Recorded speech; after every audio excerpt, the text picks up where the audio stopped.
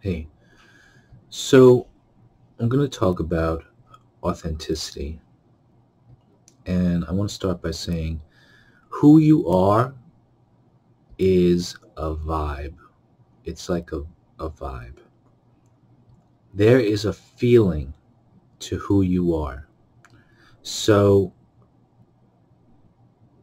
when you introspect and you look at yourself very deeply and you understand who you are, um, you know, as you grow older and stuff, you recognize that um, you you begin to understand your personality better. Okay, but there is something about you that is completely different from everyone else, and you can't explain what that is in words. Okay, because everybody has a very unique. Um, I, I only word I can think of is vibe. Okay, so in this world, unfortunately, especially in the West, is we're taught to be phony if it if it benefits other people. So like for example, um, well, if we think it benefits other people, like for example, um, if you're having small talk and you're, you know, hi, how are you? Blah, blah, blah. How's the weather? Blah, blah.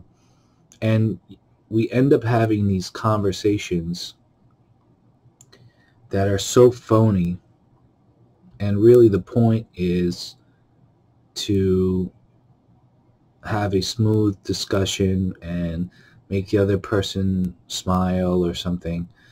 But what ends up happening is that because of this phony interaction, um, a true bond is not able to form. I believe that uh, a true bond can really only form between two 100% authentic people. 100%. Because if you're always hiding behind a phony uh, persona, then what ends up happening is the people you talk to end up getting to know a character that is a version of yourself and that character is partially sincere and partially false to varying levels. So the problem is the reason why I say 100% you need to be 100% authentic to to form a bond is because the person that you're forming a bond with, they have to see you for you. They have to see you for who you are. Now, for a long time, from my whole life basically, until I, I realized that I was doing this, uh, which was really only a few days ago, um, is I, I would be a chameleon with people. Not ill-intentioned, it was well-intentioned. I wanted to make people happy, right? So I uh, I would say things to people that would make them happy. Um, not lie or anything, but I would just act in a way that I knew they would laugh at. Because a lot of people like comedy rather than like the like the deep stuff that I talk about here, most people don't aren't interested in that. So I would so with people so with other some people I just talk I just talk in a more comedic way. Okay? Because that's what I learned to do to fit in more. But the thing is, um, I would say things in a certain ways and mirror people and, and do things that I thought would make people happy. And I was that that well-intentioned to wanting to make people happy was the exact thing that was blocking me from forming true bonds with people. Because I knew that they didn't know me really. That they didn't really know me okay um, they knew a version of me that I created for them but they didn't know me.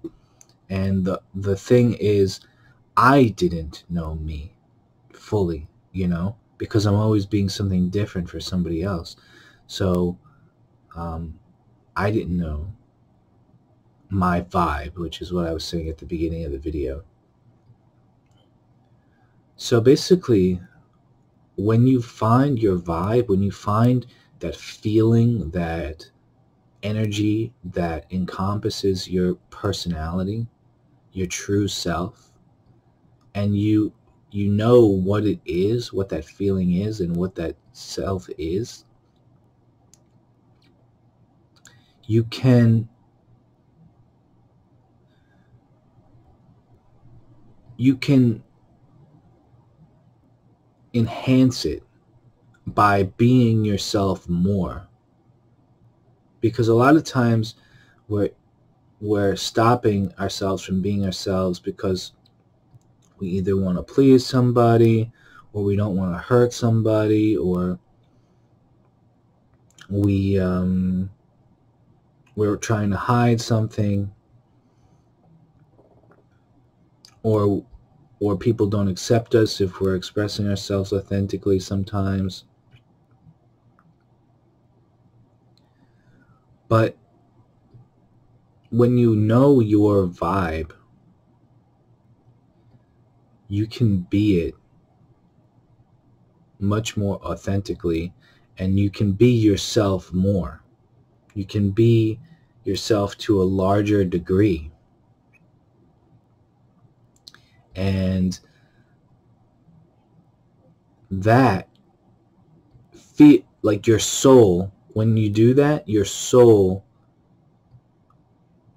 makes you feel good really because you, you feel so good when you're doing it because you're in harmony with who you really are.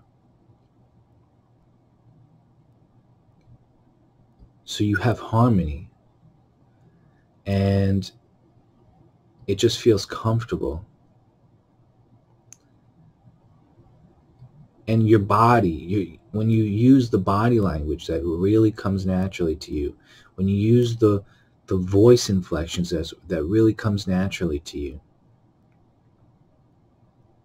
and you stop trying to please people with with things that you think that they might want or they might respond to and you just be yourself finally. Then you can you can see the beauty in it. You can see the beauty in it. A lot I think a lot of the reason we don't see the beauty in ourselves is because we hide ourselves from ourselves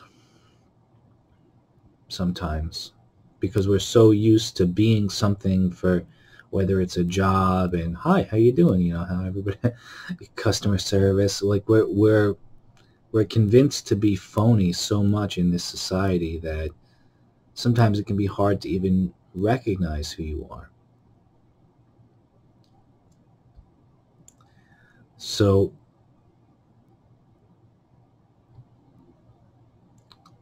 so but when you find your vibe and you find who you really are, it's precious. It's really precious.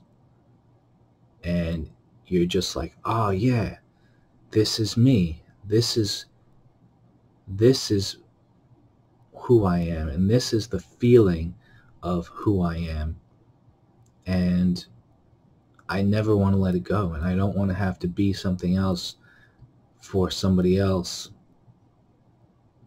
You know, I just want to be me. All right.